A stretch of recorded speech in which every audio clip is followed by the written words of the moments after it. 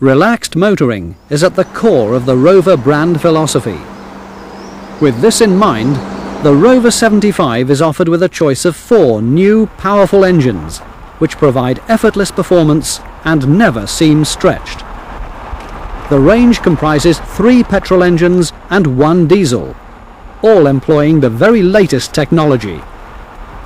This programme features all four engines, together with their management systems, and is in four sections. Section 1 looks at some of the more general features relating to all engine variants. Section 2 covers the new four-cylinder 2-litre diesel engine, known as the M47R. It utilises the revolutionary Bosch Common Rail direct injection system and develops 85 kilowatts of power. Section 3 is all about the 1.8 litre petrol engine. It's the familiar, though greatly updated, K1.8, which has been further developed to improve performance and now produces 88 kilowatts of power. And finally, Section 4 covers the two remaining petrol engines, which are both derivatives of the KV6. One has a capacity of 2 litres, developing 110 kilowatts, and the second version of 2.5 litres produces 130 kilowatts. The 2-litre version has been specifically designed for the Rover 75 and apart from its capacity is identical in construction to the 2.5-litre unit.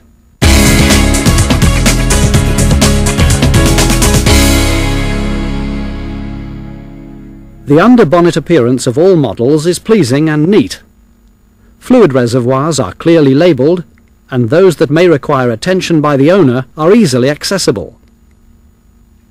All engines are mounted transversely, and to minimize noise and vibration, a special twin tie bar torque axis mounting system has been developed. This comprises a hydro mount on the right-hand side and a hydro bush on the left, that together support the engine assembly.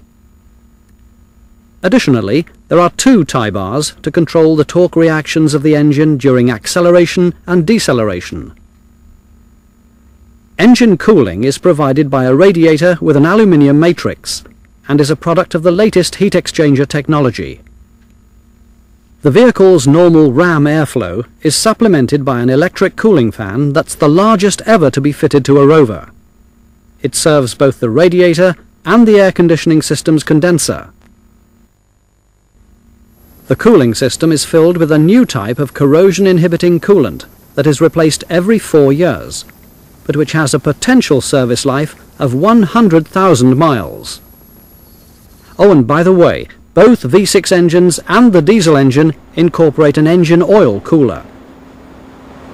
All engines are coupled to either the new 5-speed manual or 5-speed automatic transmission. It's also the first time that an automatic gearbox has been offered for a diesel-powered Rover car.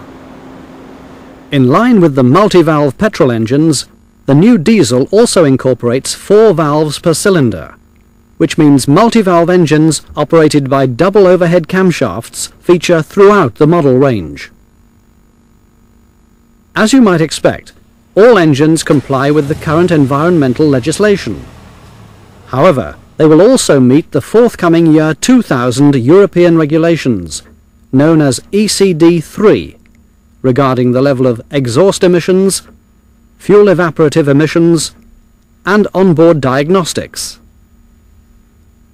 ECD3 legislation requires engine management systems to monitor and record faults that directly affect emissions. The onboard diagnostics provides this function. When detected, ECD3 faults are recorded in the ECM's memory in the same way as any other fault. You can, of course, retrieve faults by interrogating the fault memory using Testbook. As of January 2001, all vehicles fitted with petrol engines will be required to notify the driver of any serious faults by illuminating the malfunction indicator lamp, known as MIL for short. Rover 75 petrol engine management systems will have the malfunction indicator lamp active before this date and during the first decade of the millennium, legislation governing the MIL lamp of diesel vehicles will be introduced.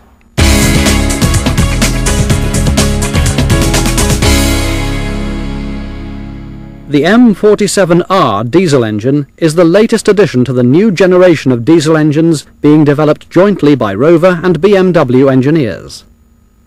The 2-litre four-cylinder engine is equipped with chain-driven double overhead camshafts and four valves per cylinder. It develops 85 kilowatts of power at 4000 rpm and produces 260 newton meters of torque at a remarkably low 2000 rpm. This torque is available across a wide range of engine speeds, making it incredibly flexible. The valves are operated by hydraulic valve adjusters via roller-type rockers, which help to make the engine extremely quiet. This arrangement also reduces friction and consequently enhances fuel efficiency. Other noise reduction measures include a separate aluminium two-piece sump, a plastic cam cover with integrated air filter housing, and pilot fuel injection to reduce the characteristic diesel clatter. However, we'll look at the fuel injection system shortly. The diesel engine's coolant circuit also incorporates an auxiliary coolant heater fitted ahead of the heater matrix. If, when the engine is started, the ambient air temperature is below 5 degrees centigrade, the coolant heater will draw fuel from the tank and burn it. As a result, the coolant is heated, which accelerates the warm-up of both the engine and the passenger compartment. And because the engine reaches optimum operating temperature quickly, the auxiliary heater has a negligible effect on the overall fuel consumption. Incidentally, the cooling system's thermostat is located on the end face of the cylinder head. The engine ancillaries are driven by two poly-V belts. One drives the air conditioning compressor and is manually tensioned, whilst the other, which is automatically tensioned, drives the remaining ancillaries, such as the power steering pump, water pump and alternator. Note that the drive belt service life is 90,000 miles or 6 years. A turbocharger and intercooler assist in filling the combustion chambers with a high volume of dense air. And this, together with the engine's four valves per cylinder and the highly efficient injection system, ensure optimum combustion performance. The engine is fitted with the revolutionary Bosch Common Rail direct injection system. It overcomes the disadvantages of previous injection systems, where the fuel pressure and the volume of fuel delivered varied with engine speed. Common rail technology is similar in approach to fuel injection systems fitted to petrol engines. A lift pump supplies fuel from the tank via a filter to a low-pressure pump and then onto a chain-driven high-pressure pump on the engine. Here the fuel is pressurized and then delivered to the rail, which in turn supplies the injectors. The rail also acts like an accumulator, providing a supply of pressurized fuel, whilst at the same time dampening any surges. Excess fuel is returned to the tank via a fuel cooler, which is situated next to the right-hand rear wheel. Typical fuel pressures in the rail are in the region of 1350 bar, so extreme care must be taken when working on the system. Always refer to the repair information before attempting repairs. Four solenoid-controlled injectors spray the fuel directly into each combustion chamber. Their firing time and opening duration is calculated by the ECM. Each injector is independently controlled and delivers a pre and main injection quantity of fuel in quick succession per cycle. This introduces the fuel more gradually, thereby reducing the characteristic ignition delay associated with normal diesel injection systems. This feature, combined with the constant high pressure, results in smoother and more precisely controlled injection which improves the burning of the mixture, reduces emissions and improves performance. For the driver, it simply means an extremely refined engine. By the way, the exhaust gas recirculation valve is mounted on the inlet manifold, and unusually, like the manifold, it's made of plastic. It's also worth noting that cruise control on the diesel-powered Rover 75 is controlled by the engine management system in conjunction with a cruise control interface unit. There's no throttle actuator. To summarise, not only is the Rover 75 the first British car to be fitted with common rail diesel technology, but it's also the world's most powerful 2-litre common rail diesel engine available.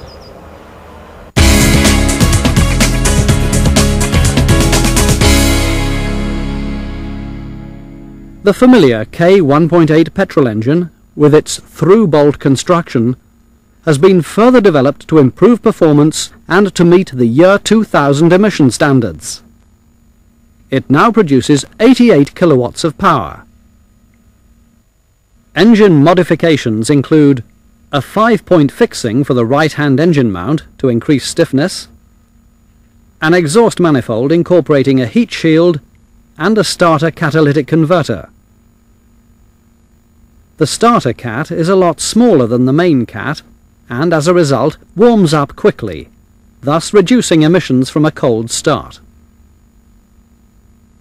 To accommodate the right-hand engine mounting and to provide the support for the starter cat, detail changes have been made to the cylinder block. A dual-mass flywheel is fitted to the manual versions. It reduces noise and improves ride comfort. There's also a new cam cover, camshafts, and Hall effect camshaft sensor. The new type of cam sensor provides a digital signal used for sequential fuel injection and an automatic tensioner for the cam belt. It helps to reduce noise and increases the service life of the belt from 60,000 to 90,000 miles. Incidentally, to accommodate the new camshaft seals and belt tensioner, the cylinder head has been modified. The air conditioning drive belt is now fitted with an automatic tensioner, which means that, like the cam belt, it has a life expectancy of 90,000 miles. Let's now consider some of the changes that have been made to the MEMS 3 modular engine management system. We'll start with ECM's input signals. In operation, the MEMS 3 system is similar to earlier MEMS versions, but the ECM receives additional input signals concerning alternator load, power steering load, and the load of the air conditioning compressor. There's also the familiar input signal from the heated oxygen sensor. However, to meet the forthcoming ECD3 legislation, Two oxygen sensors will need to be fitted, each providing their own input signals. One sensor will be located before the starter catalyst, and the other will be fitted just after the main catalyst. Both oxygen sensors use zirconium technology, and like other models, the sensor in front of the starter catalyst forms part of the mixture control system. The additional sensor is part of the ECD3 system and primarily measures the efficiency of the cat. If the cat's performance is below standard, a fault is recorded in the ECM's memory. Its secondary function is to assist in the fine-tuning of the fuel and air mixture. The MAP sensor, or Manifold Absolute Pressure Sensor, which measures manifold depression, has also been relocated. Formerly located within the ECM, it can now be found on the inlet manifold, at the opposite end to the throttle plate. Next is the previously mentioned Hall effect camshaft sensor. And for the first time on a MEMS system, the ECM now receives a direct feed from the battery. In addition, the MEMS 3 system also receives information from other control units via the CAN bus. In turn, it uses the CAN bus to communicate with the rest of the vehicle systems. So, having considered the input signals, Let's now consider the new MEMS3 output signals. Firstly, there's the malfunction indicator lamp, or MIL for short. As mentioned, this is required to be active from the 1st of January 2001.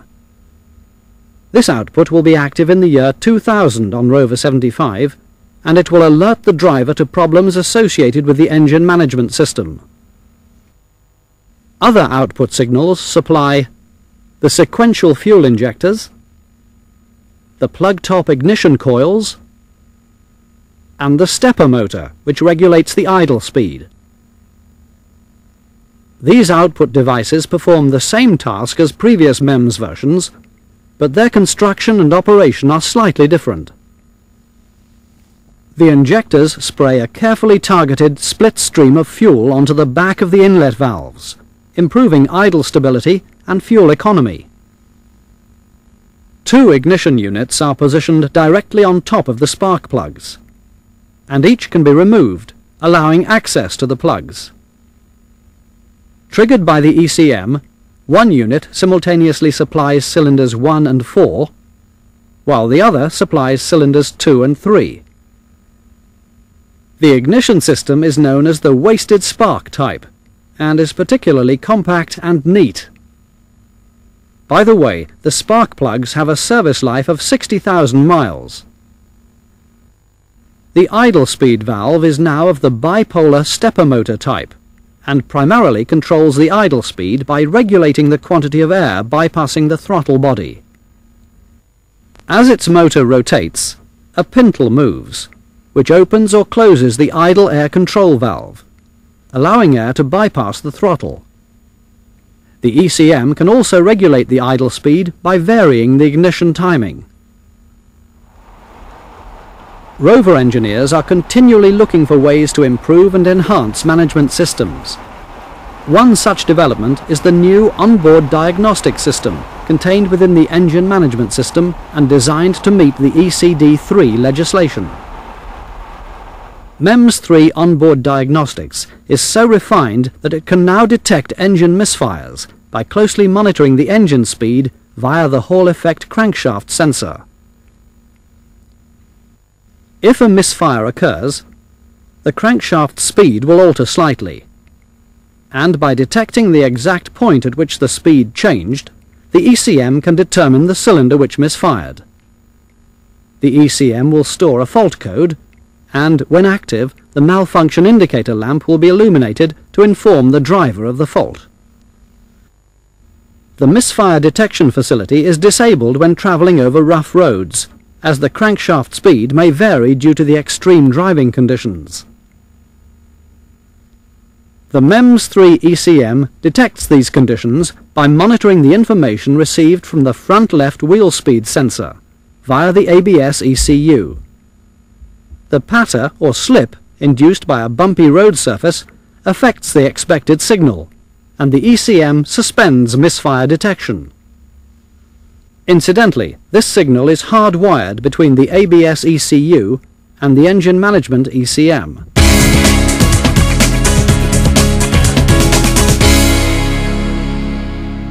In this section, we'll look at the KV6 engine which has undergone major changes to enable its transition from the Rover 800 into the Rover 75. To meet the tougher quality standards and the high expected demand for the KV6 engines, a new assembly line has been built. As a result of this major investment, nearly 90% of component parts are new, ranging from stronger main engine castings through to electrical ancillaries. The familiar KV6 from the Rover 800 formed the basis for two new engines of 2 and 2.5 litres capacity. The 2 litre was especially developed for the Rover 75. The difference between the two engines' capacities is due only to the throw of the crankshaft. The cylinder bore sizes are identical. The 2-litre engine develops 110 kilowatts of power at 6,500 RPM and a very respectable 185 newton meters of torque at 4,000 RPM. In its 2.5 litre version, the performance has been improved beyond that of the Rover 800, and it now produces 130 kilowatts of power at 6,500 RPM and 240 newton meters of torque at 4,000 RPM.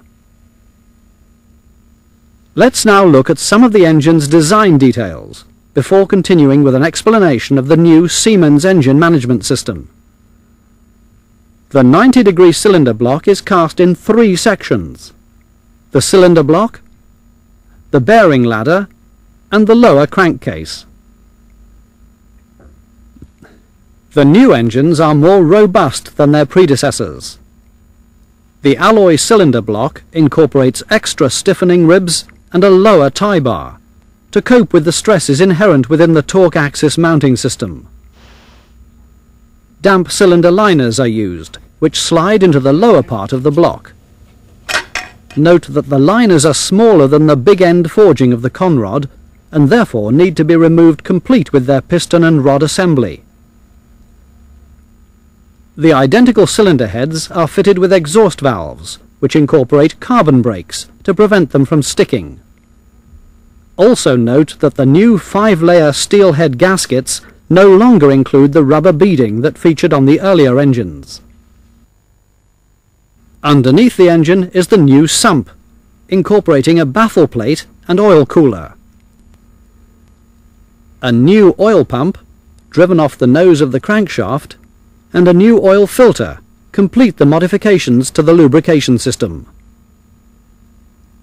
At the front of the engine is the water pump, with its revised face and internal seals.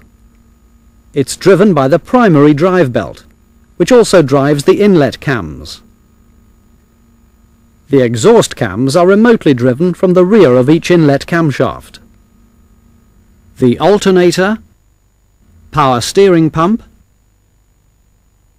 and air conditioning compressor, if fitted, are driven by a new auxiliary drive belt, which is tensioned automatically. To improve belt alignment, the alternator is now mounted on a special bracket incorporating two split bushes. Both the cam belt and the ancillary drive belt have a service life of 90,000 miles or six years. The starter motor has been replaced with an uprated unit supplied by Denso. Crankcase breathing and the overall appearance of the engine has been improved by the fitting of higher volume cam covers and nylon breather pipes, which utilize neat, quick-fit connectors. The engine's appearance is also helped by the new engine cover that's designed to improve noise absorption. The remaining engine modifications are to the induction system. The inlet manifold is made from lightweight plastic and is one of the most advanced intake systems of its kind. Known as the Variable Induction System, VIS, the length of the inlet manifold is continually adjusted by several actuators and valves. The system adapts to meet changing load conditions thereby improving the volumetric efficiency of the engine when compared to an engine with a fixed-length manifold. As a result, maximum torque is available across a wide range of engine speeds. All the components relating to the intake system are new, including the secondary throttle that works in conjunction with the optional traction control system.